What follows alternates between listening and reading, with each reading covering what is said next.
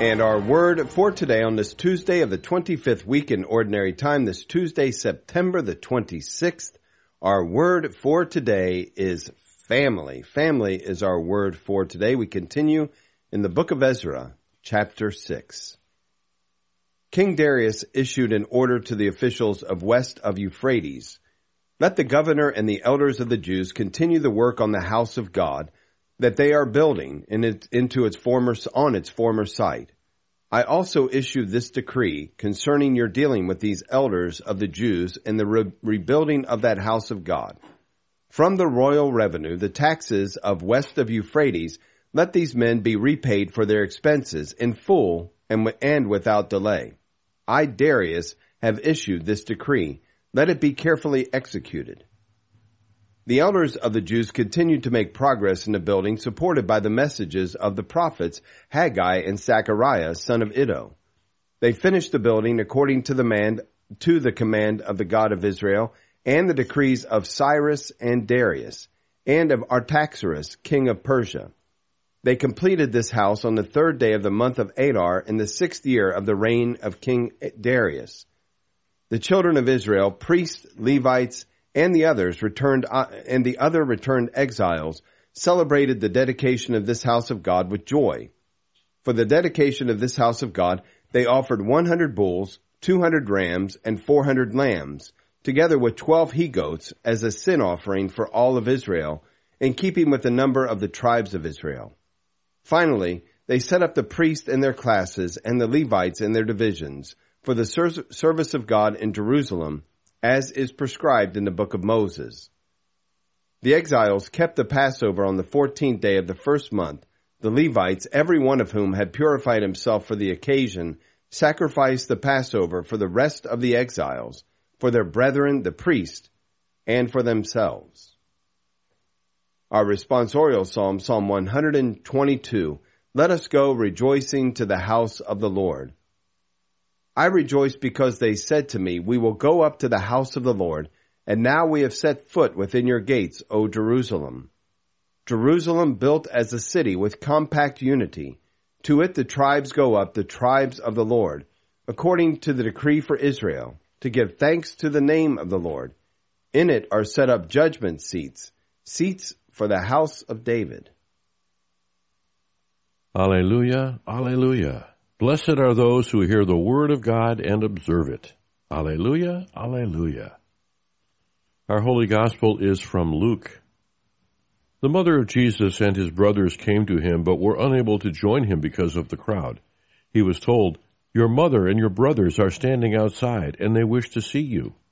He said to them in reply, My mother and my brothers are those who hear the word of God and act on it. Mm. And our word for today is family. Family, our word for today. Our Holy Father's thoughts regarding today's gospel reading, these he shared in his Angelus address on June the 10th, 2018. He was told, Your mother and your brethren are outside asking for you. And he replied, Who are my mother and my brethren? And looking around on those who sat about him, he said, here are my mother and my brethren. Whoever does the will of God is my, bro- is my brother and sister and mother. Jesus formed a new family, no longer based on natural ties, but on faith in Him, on His love, which welcomes us and unites us to each other in the Holy Spirit. All those who welcome Jesus' word are children of God and brothers and sisters among themselves. Welcoming the word of Jesus makes us brothers and sisters, makes us Jesus' family. Speaking ill of others, destroying others' reputation, makes us the devil's family. Jesus' response was not a lack of respect for his mother and his brethren. Rather, for Mary, it's the greatest recognition precisely because she herself is the perfect disciple who completely obeyed God's will. May the Virgin Mother help us to live always in communion with Jesus, recognizing the work of the Holy Spirit who acts in Him and in the church, regenerating the world to new life. May the Virgin Mother help us to live always in communion with Jesus, recognizing the work of the Holy Spirit who acts in Him and in the church, regenerating the world to new life. Family, our word for today. And we'll begin first in our reading from the book of the prophet Ezra, chapter 6. The very end of that reading, but we see what's happening. I mean, again, uh, pagan kings have come forward uh, to assist the people of God in the rebuilding of the temple in Jerusalem. And some of the exiles who have been dispersed all over have now come back and are in Jerusalem building uh, this temple, both doing the labor of building, but also the priests are gathering there to begin the sacrifice. And the family of God has come back together. The exiles kept the Passover on the 14th day of the first month. The Levites, every one of whom had purified himself for the occasion, sacrificed the Passover for the rest of the exiles for their brethren, the priests, and for themselves. So we see this gathering again of the people of God who've been dispersed because of their own disobedience. They have been dispersed throughout the uh, throughout the kingdom, way beyond their the borders of the promised land. But now they're coming back together. The Lord has used these leaders, these secular leaders, to make it happen. He has given favor to His people uh, through them so that this thing can come together.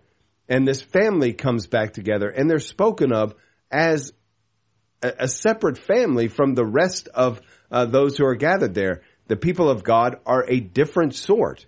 They belong to this God.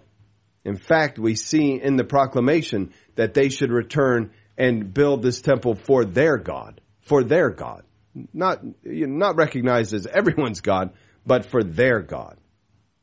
And we see something new happening in the gospel today. Jesus calling all believers into one family, all who would believe. They came and said that his mother and his brothers were there, and he simply said, Who are my mother and my brothers? Those who hear the word of God and act on it are my mother, my brother, my sister, my family, as the Holy Father points out. We have become a new family of faith, not from a bloodline, but from a line of faith, from a line of belief. If we believe in the one Lord Jesus Christ, we have become sons and daughters of our Heavenly Father. And there needs to be a distinction here. There, there's a distinction that needs to be made here. We understand that everyone on the, on the planet, everyone who has ever lived and ever will live, every human that is, that has ever lived, is made in the image and likeness of God. In the image and likeness of God. But not everyone is a son or daughter of God. We are brought into the family when we accept what Jesus has offered to us. Covering of our sin through his death and resurrection, baptism, uh, using water with the form, I bless you in the name, I, I, I baptize you in the name of the Father and the Son and the Holy Spirit then we are brought into this household of faith through this sacrament and then by our own proclamation and our own remaining faithful to that thing. Then we are sons and daughters of God, not just made in his image and likeness, but members of the family, members of the household of faith through that proclamation, through the reception of what Jesus holds out to each and every one of us. If anyone who is listening today has not been baptized, if you have not yet made that decision to become a member of the family of God, in all earnestness, I ask you to consider doing that, moving forward with that. Right now, beginning that process by saying to Jesus, I want this. I want to be a member of your family. I accept the sacrifice that you've made on my behalf. And now I'll follow through with the formal steps that are necessary to bring that about. But make that commitment today. Now is the time of God's favor. Today is the day of salvation. If you are already a member of that family, commit to a deeper relationship today. Today is a wonderful opportunity for us to draw closer, to become closer, and to recognize that we are a family of faith because of the death and resurrection of our Lord Jesus Christ, who came to reveal the Father that we might know him and love him as Jesus knows him and loves him. Family, our word for the day. And, and by the way, with a mother too. yeah. We've got a father, we've got a mother, and we have Jesus as our brother, and we have the Holy Spirit dwelling within us who reveals all things to us. Hmm. Family, our word for today.